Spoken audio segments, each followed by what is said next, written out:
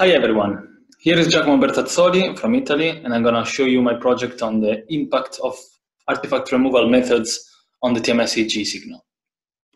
So concurrent TMS-EEG is a combination of transcranial mag magnetic stimulation and electroencephalography.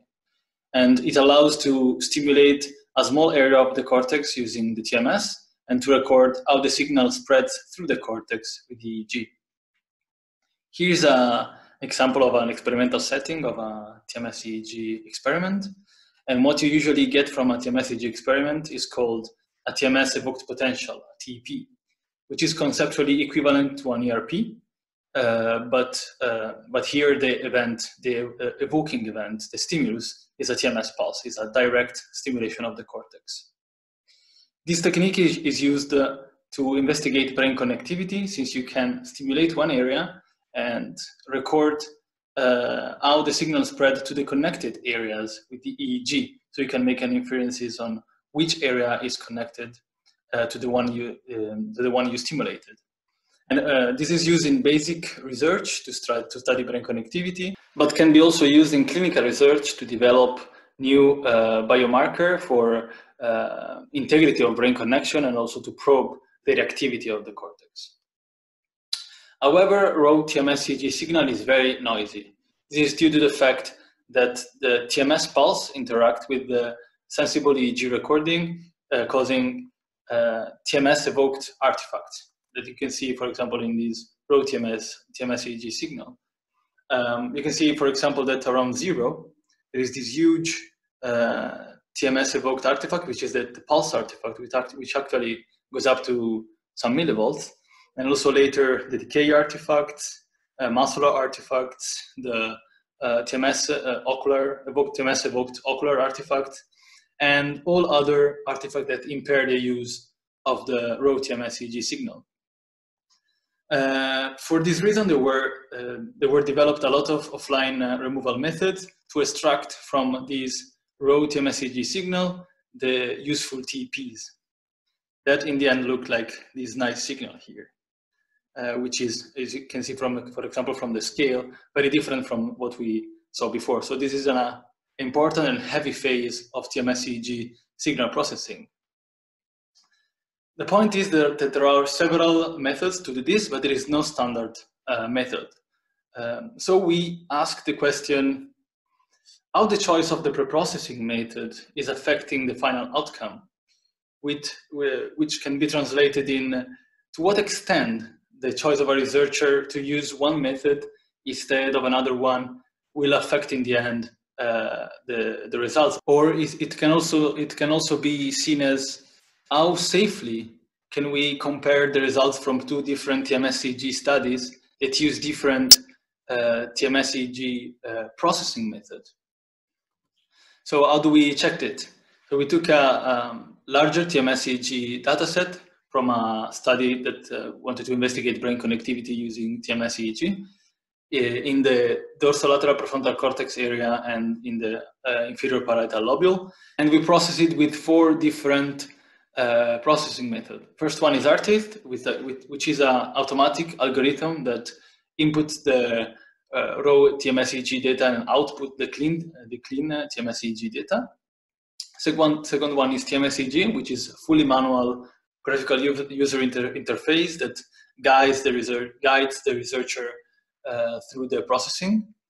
Uh, third one is TESA, which is actually a um, set of function that the, a researcher can use to build a uh, to build a processing pipeline. We use the default pipeline that I suggested. And lastly, sound which as opposed to the other one, it doesn't use any uh, blind source separation algorithm, but it used sound and SSP-SIR, which, has, which are uh, new sophisticated algorithm that allow to clean the TMS-EEG signal without any ICA. And here the, T, the resulting TEPs, for example, in the dorsolateral prefrontal cortex. The, for the four, so we had four outputs since we had four uh, processing methods. Here for the dorsolateral prefrontal cortex, and here for the inferior parietal lobe. Then to test our hypothesis, we just compared these four TEPs to look at difference, differences and how the signal correlated with each other. So here, so the results. I'm going to show you the result just for the uh, inferior parietal lobule uh, for time reason, but also because the results in the dorsolateral prefrontal cortex are very similar. So here are the four outputs. And the first thing you wanted to check uh, were differences in the, in the amplitude of the signal. So we looked at uh, point by point, channel by channel differences using the cluster-based analysis, analysis in a FieldTrip. And here are the results. Uh, here in the row, you can see the comparison, each comparison. There was six comparisons since we had four conditions. In each column, uh, you can see different interval in times of the whole epoch we had. In the last column, you see the whole epoch, and each one of that of that butterfly plot represent the differences in the TEPs. The colored line on the bottom on the butterfly plot here represent positive and negative significant cluster from the cluster-based analysis. On the topographical plot, you see colored the voltage dis distribution, which is the difference of the two conditions, and the white dots represent significant channels. So channel in which we found a significant difference in amplitude. The first thing you can see is that you can spot differences, significant differences in the wall epoch, especially in these four, first three comparisons, which were all the comparisons with artist, by, artist method. You can see differences also in the other comparison, but less prominent. So second, second thing we wanted to check is how these signal correlated with each other. And we, the correlation can be seen both in, temporal dimension and in spatial dimension. So we started with the spatial dimension and we looked at the topographical correlation. What does it mean? So we had the four, our four uh, signals and we compared each instant, which is a topography of the signal, and we checked if um, we checked how these topography topographies correlated with each other. So it's the topographical correlation. And here the results. So each colored line here represent uh, one comparison, one correlation. On the y-axis, you can see the amount of correlation, and on, on the x-axis, you can see the time. Uh, these straight lines here represent uh, the significant instant in time in which the correlation, so in which the topographical correlation was significant. And the first thing you can see is that uh, the topographical correlation was significant basically in every instant in time, except from the beginning of the signal. And also you can see that at the beginning of the signal, the amount of, co of correlation is uh, low, while it gets better while in later latencies, but not for all the comparisons. You can notice that for the comparison with artists, with this method artist, they remain low uh, until almost 100 milliseconds. Second correlation we checked was the uh, temporal correlation. So instead of looking at the correlation of the topographies, we look at the correlation of uh, each channel uh, of each channel in the whole epoch. So for example, this black channel in all conditions. And we looked how the correlation how the signal correlated in time. And here's the results. In the first column, you see the correlation of each channel for the whole epoch. Again, the white dots represent significant channel and color coded is the amount of correlation. First thing you notice is that all channel are, basically all channel are significant and also that the correlation for the whole epoch is high basically everywhere.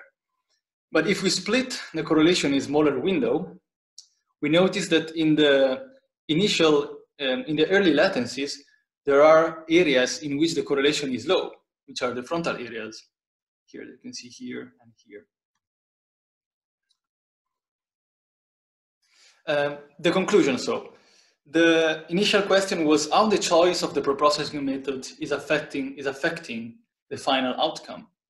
And the answer is not straightforward, of course um, different methods showed different level of agreement. We see it in amplitude that some methods like artist showed a lot of differences while other agreed more, for example, TMS-EEG and sound. We saw in the spatial patterns, like, uh, like we saw the correlation in topographies was low in the beginning and it, and it was variable uh, in later latencies. And also for temporal patterns that we saw in the uh, temporal correlations, we saw that for the old epoch, the correlation was very high, but for initial latencies, uh, the correlation was low, especially in the frontal areas. So the choice of the processing method impact the final TEPs. But the real question is, what is the amount of um, variability that we accept, accept in this phase of the preprocessing? And also where all this variability comes from. Different method, methods uses different strategies and also different uh, level of automatism. And in the end, uh, it sum up in a different uh, amount of data removed with the respect of, uh, of the raw data. For example, if we look at the, uh, at the rank of each um, dataset after being cleaned with, uh, with different processing methods, we notice that the rank, which is an estimation on of how many um, channels were interpolated, how many ICA components were removed, we see that artist removes a lot of, uh, interpolates a lot of channels, remove a lot of ICA components compared to the others. While, for example, TMS-EEG is more conservative, conservative and it spares most of the signal. So this can be one place where to uh, find an explanation of all this variability.